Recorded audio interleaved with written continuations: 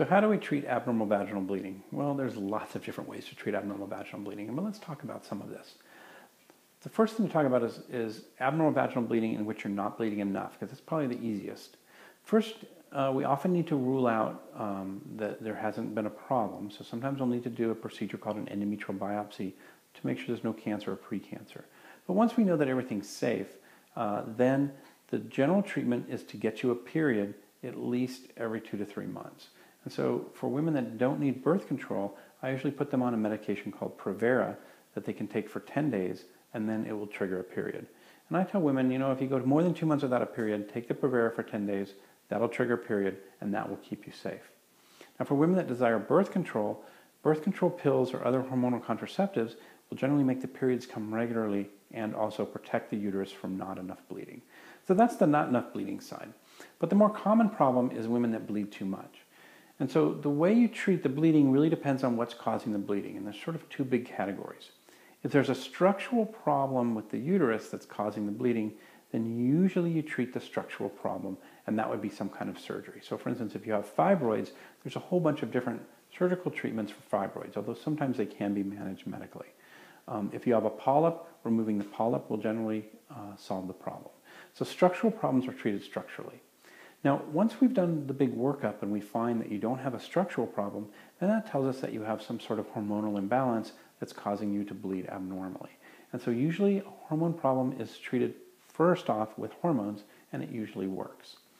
So if you need birth control, birth control pills work very well because they provide you with birth control and they also treat the bleeding by making your periods usually light and very regular. So that's one way to do it. Other things would be other hormonal birth control options such as the um, patch or the um, uh, vaginal ring, or even the Mirena IUD can be very good at treating abnormal vaginal bleeding. Now, if the hormonal methods don't work, then we may have to treat you with a surgical approach. The, the simplest thing is what's called a D&C, and that's generally done in the operating room with you asleep, uh, where an instrument is passed through the cervix into the uterus, and the uterus is scraped. And that scrapes the lining of the uterus and sort of kind of hits the reset button and puts the uterus back in square one. That often will help abnormal vaginal bleeding, but usually it's a short-term fix and eventually it often comes back. That can be used in an emergency if you're really bleeding a tremendous amount, it will usually stop the bleeding right away. And so a D&C is one option. Usually if we do a D&C for abnormal bleeding, we do a hysteroscopy at the same time, and that's a procedure where we put a little teeny camera through your cervix into your uterus just to look and make sure that there aren't any fibroids or polyps that might have been missed on the ultrasound. Um, if there are, then we can often treat them with the D&C while we're doing the hysteroscopy and D&C. If you're done having children, then there are other options. One is something called an endometrial ablation. That's usually combined with a hysteroscopy D&C. It's an outpatient procedure where we basically do the hysteroscopy, the D&C, and then we ablate the uterus, which basically means that we burn the inside of the uterus to try to make it so that it's not able to bleed anymore. There are different ways that there are different techniques that this is done.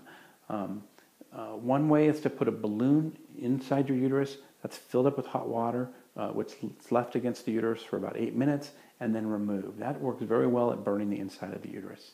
There's also a device that goes in there and basically cauterizes the uterus with electric current.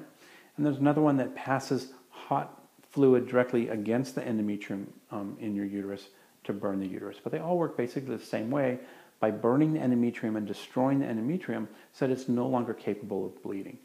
It tends to work very well. About 80% of women are very satisfied with that procedure. It's an outpatient procedure. You go home the same day, doesn't require a lot of time off work. It can cause a lot of watery discharge, which can be extremely annoying, but it's not really a painful procedure. So that's a nice way to treat abnormal bleeding that isn't being treated adequately by hormones. It has an 80% chance of working um, and very little sort of time off work, pain, sort of investment um, for the surgery. Now, if that doesn't work, then finally hysterectomy is sort of the ultimate treatment for abnormal bleeding. Hysterectomy is removal of the uterus. Um, and so once the uterus is out, then we know your uterus can't bleed anymore. So that's the one way we can guarantee that we can solve your abnormal bleeding. Now that is sort of the, the ultimate extreme way, and we usually don't do that until we've tried some of the other approaches. uh, but that will certainly fix it. And the hysterectomy, depending on your individual situation, can be done through your vagina, or it can be done through an open incision like a C-section incision, or sometimes it can be done through a scope, through a laparoscope with several little holes in your belly um, and taking the uterus out that way. So those are the, the basic concepts of treatment for abnormal vaginal bleeding. And the treatment that your doctor discusses with you is really going to depend on your individual situation.